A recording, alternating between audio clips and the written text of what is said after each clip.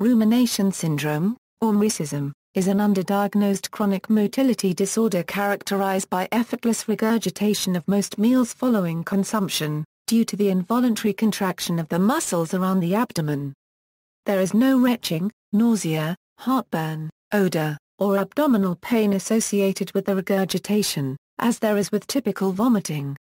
The disorder has been historically documented as affecting only infants, young children, and people with cognitive disabilities. Today it is being diagnosed in increasing numbers of otherwise healthy adolescents and adults, though there is a lack of awareness of the condition by doctors, patients and the general public. Rumination syndrome presents itself in a variety of ways, with especially high contrast existing between the presentation of the typical adult sufferer without a mental disability and the presentation of an infant and or mentally impaired sufferer. Like related gastrointestinal disorders, rumination can adversely affect normal functioning and the social lives of individuals. It has been linked with depression. Little comprehensive data regarding rumination syndrome in otherwise healthy individuals exists because most sufferers are private about their illness and are often misdiagnosed due to the number of symptoms and the clinical similarities between rumination syndrome and other disorders of the stomach and esophagus, such as gastroparesis and bulimia nervosa. These symptoms include the acid-induced erosion of the esophagus and enamel, halitosis, malnutrition, severe weight loss and an unquenchable appetite. Individuals may begin regurgitating within a minute following ingestion, and the full cycle of ingestion and regurgitation can mimic the binging and purging of bulimia. Diagnosis of rumination syndrome is non-invasive and based on a history of the individual. Treatment is promising, with upwards of 85% of individuals responding positively to treatment, including infants and the mentally handicapped. Classification Rumination syndrome is a condition which affects the functioning of the stomach and esophagus, also known as a functional gastroduodenal disorder. In patients that have a history of eating disorders, rumination syndrome is grouped alongside eating disorders such as bulimia and pica, which are themselves grouped under non-psychotic mental disorder. In most healthy adolescents and adults who have no mental disability, rumination syndrome is considered a motility disorder instead of an eating disorder, because the patients tend to have had no control over its occurrence and have had no history of eating disorders. Signs and symptoms While the number and severity of symptoms varies among individuals, repetitive regurgitation of undigested food after the start of a meal is always present. In some individuals, the regurgitation is small, occurring over a long period of time following ingestion, and can be rechewed and swallowed. In others, the amount can be bilious and short-lasting, and must be expelled.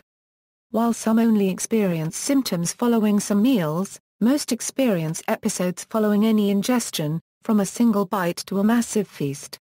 However, some long-term patients will find a select couple of food or drink items that do not trigger a response. Unlike typical vomiting, the regurgitation is typically described as effortless and unforced. There is seldom nausea preceding the expulsion, and the undigested food lacks the bitter taste and odor of stomach acid and bile. Symptoms can begin to manifest at any point from the ingestion of the meal to 120 minutes thereafter.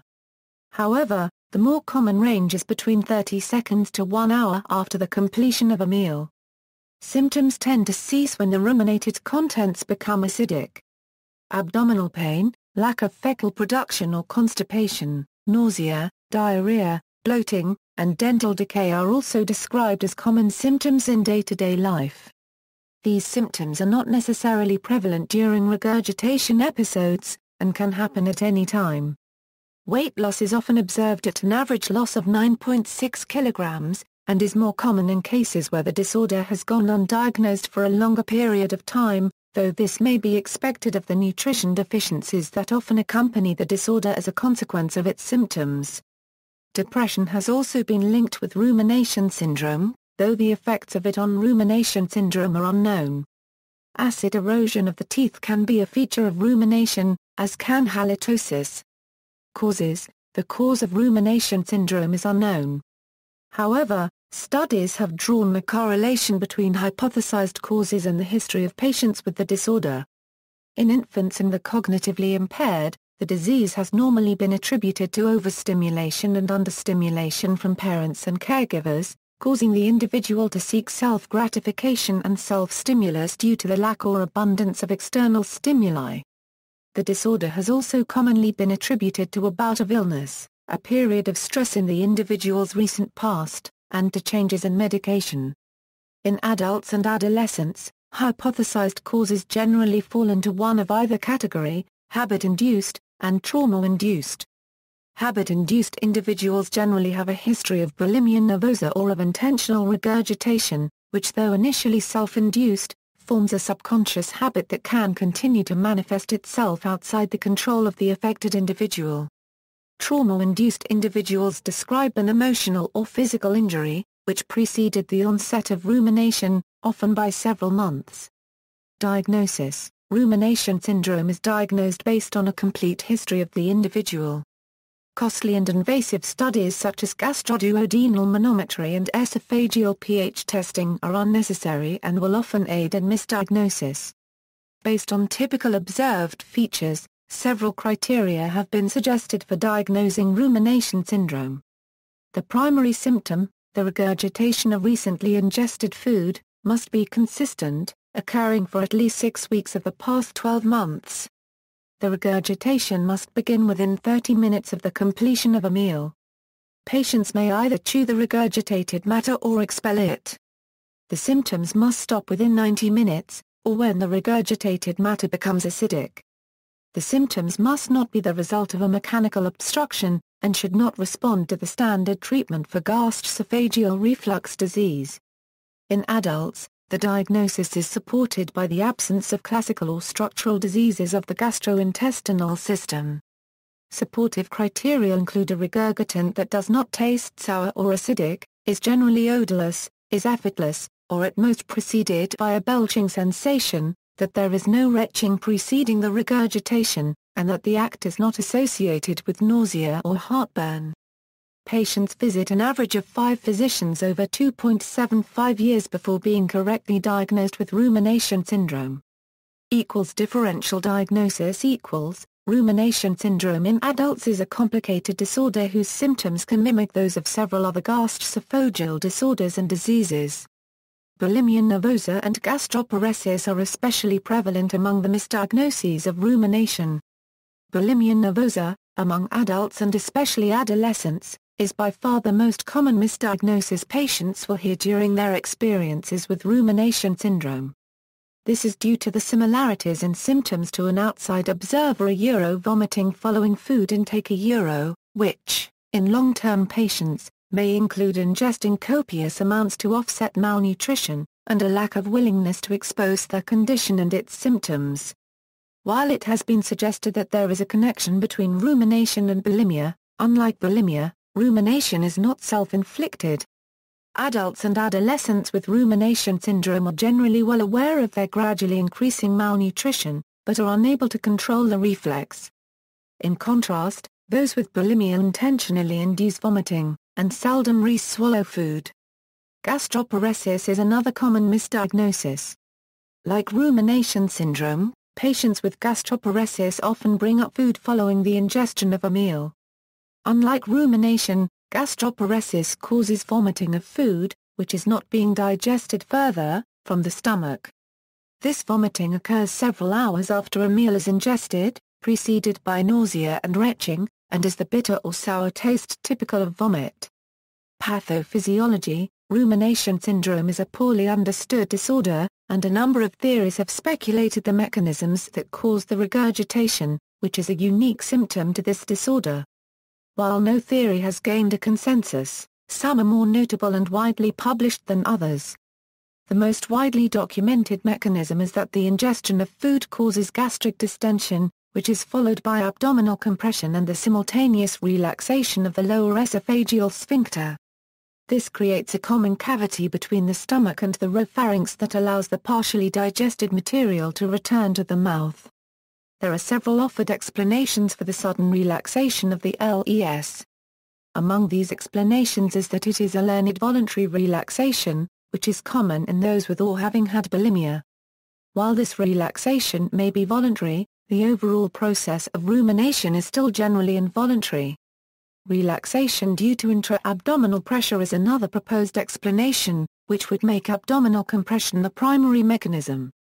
The third is an adaptation of the belch reflex, which is the most commonly described mechanism. The swallowing of air immediately prior to regurgitation causes the activation of the belching reflex that triggers the relaxation of the LES.